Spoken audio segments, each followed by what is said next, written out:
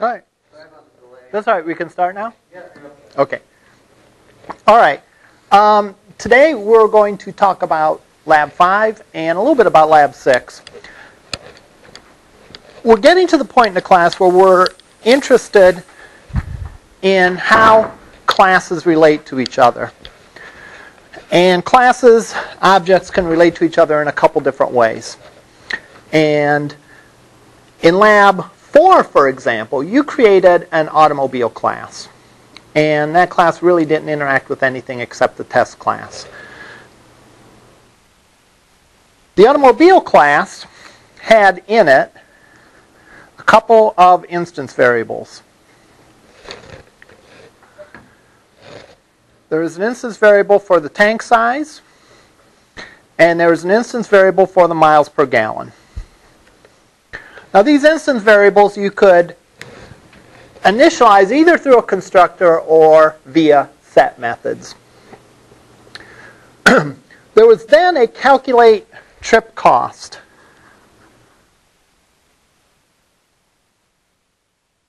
That accepted as arguments the price of gas per gallon and the number of miles that the trip was for.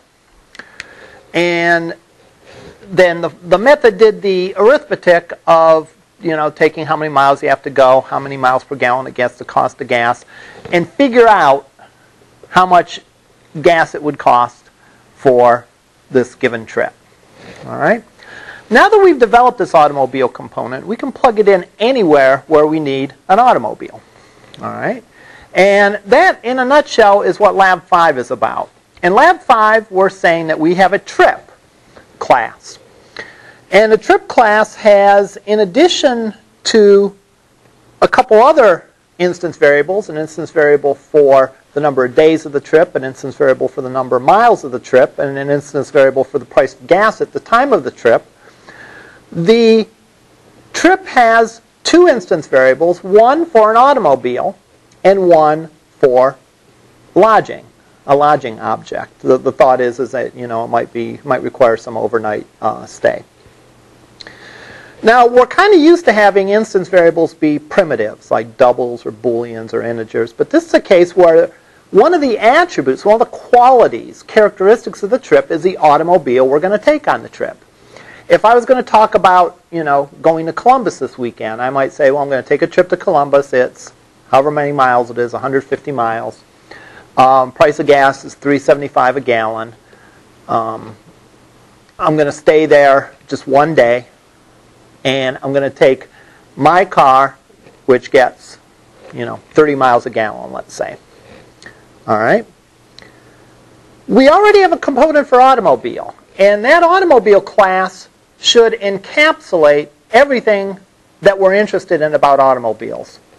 So none of the arithmetic of calculating how much the trip should cost or the gasoline should cost should be in the trip class itself. Because we already have that logic in the automobile class. We may very well change our method to calculate the cost of a trip to factor in things like the wear and tear on the tires, the oil, um, the wear and tear on the engine, and so on. We don't have to. We don't want to have to go around and change a bunch of other classes to reflect our refinement of the way that we're calculating how much it costs to run our car for a certain number of miles. We want to make that change in one place in our automobile class. And then anyone that uses that class will get the benefit of that change. Another way to put it is when we look at the trip, it will have an instance variable for automobile, an instance variable for lodging, along with one for the number of days, which would be a, a, double, let's say, or an integer, the number of miles, which is a double or an integer, and then finally the price of gas. Price of gas, we could say, is a characteristic of the trip because a trip is typically for a certain time frame, and the price of gas is the same uh, for that time frame. In the automobile class, we pass that as an argument because the price of gas really isn't an attribute of the automobile. I suppose in the case of the trip we could pass it as an argument as well, but the way I define the problem, I said to make it an instance variable. Okay, so how do we calculate the cost of a trip?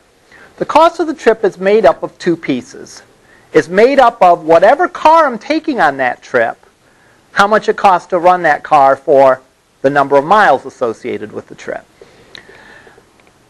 That number added to the cost of the lodging. So therefore, our method to calculate the cost of a trip will look something like this. The method in the trip class will look something like this. Calculate trip cost. We're going to calculate the automobiles piece of the trip cost by calling the calculate trip cost method in the automobile object. And we're going to pass it the information it needs, namely the miles and the price of gas.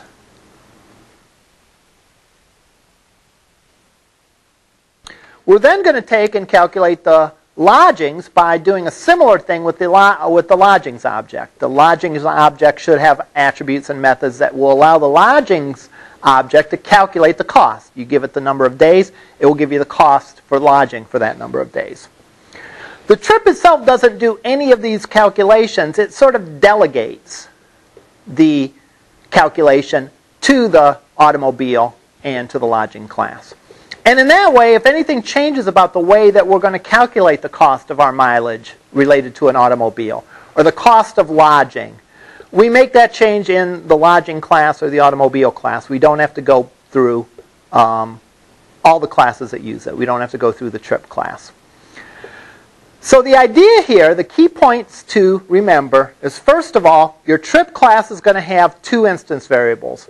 One for uh, we'll have several instance variables, but two of the instance variables will be, one of them will be for the automobile and one of them will be for the lodgings.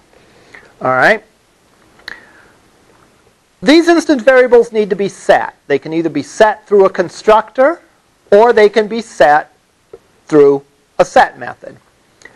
The calculate trip cost won't really do the calculation itself. It simply delegates the calculation to the other classes gets the sum of the, tri- of the trip cost for the car plus the cost for the lodgings, and that's the cost of the trip. All right? If we were to change something about the manner in which we were to calculate the cost of a, a trip for the automobile, like to factor in wear and tear on the car, we could make that change in one place and we wouldn't have to touch the trip logic. All right. We could also add other components to a trip. For example, we could we could have a list of meals that were going to be taken uh, while uh, on the trip, and in which case we would bring those into the uh, equation and add those costs on when we were calculating the total trip. So, what's your test class going to look like for this? Your test class is going to look something like this. You're going to have to create an automobile object.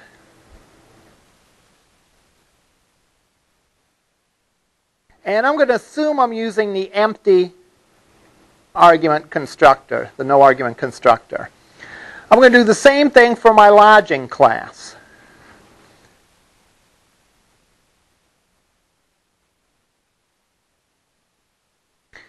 Now, what I have to do is I have to associate this with the trip I'm taking. So again, I could either do that via a constructor or I could do that via a set method. Let's say for the sake of argument, I create the new trip using a null constructor. I'd have to do something like t dot set auto and pass it the automobile object and then a similar thing with the lodging.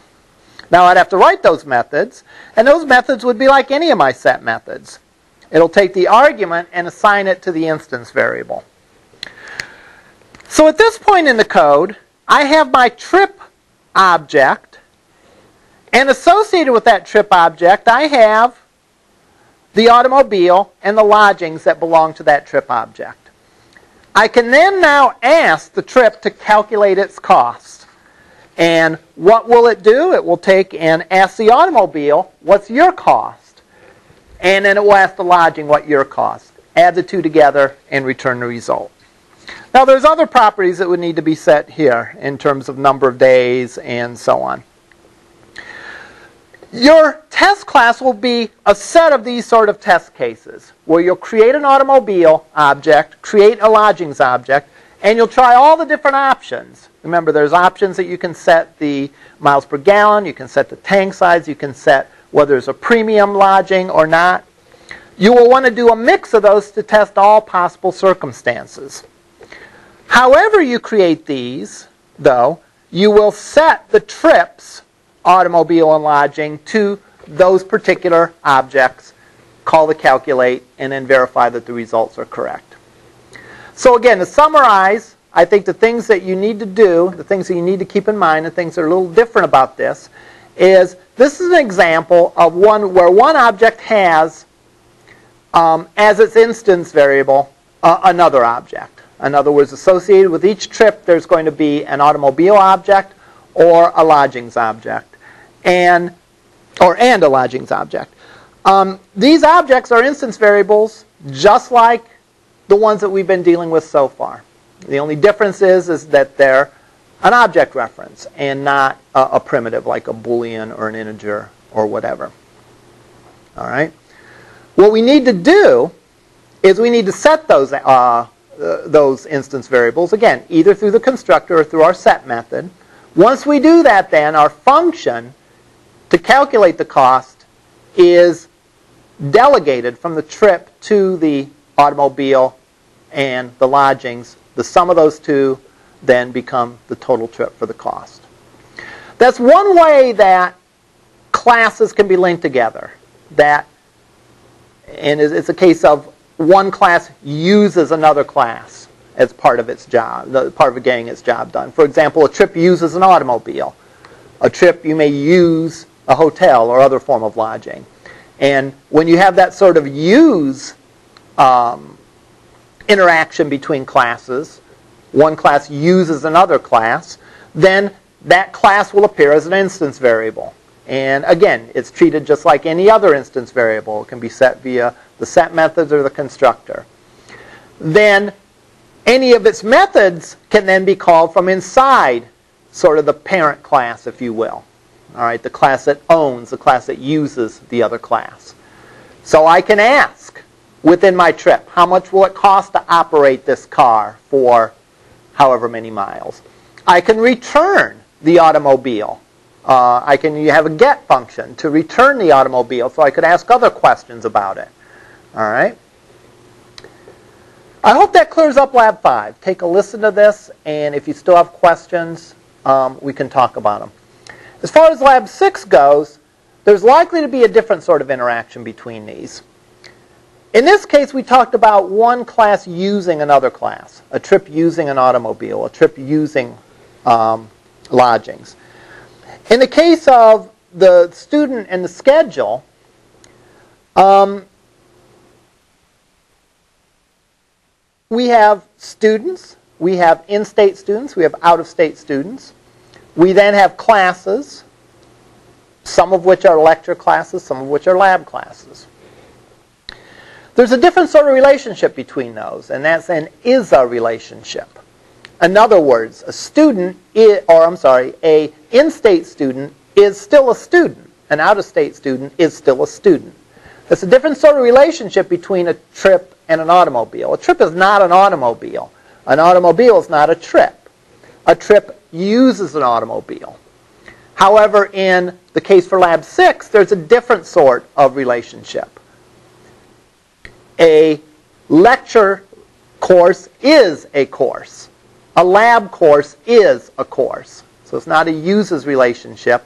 Therefore, you're likely to use inheritance in this one. So what I would do as I'm reading through the description is I'd draw the start of a class diagram where I would draw all the entities that I hear about, very similar to what you might do in database design.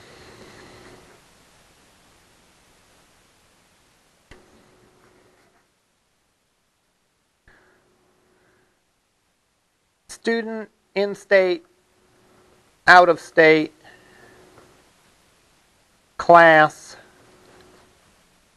lecture, lab. Now there's a is a relationship, so that would likely be inheritance. Now what's the relationship between student and classes? Well, students have a list of classes. Another way to put that would be as students have a schedule which effectively is a array list of class objects or course objects, depending on what you call them. So we're seeing three different ways that classes can be related. There can be an is a relationship which suggests inheritance. The other two relationships where one class uses another class or one class has as an attribute another class or a list of other classes in the case of the course schedule. And that's implemented in a different way. That's not implemented through inheritance, but that's implemented by having the one class as an instance variable or an array of that class as an instance variable in um, the other class. All right, I hope that helps.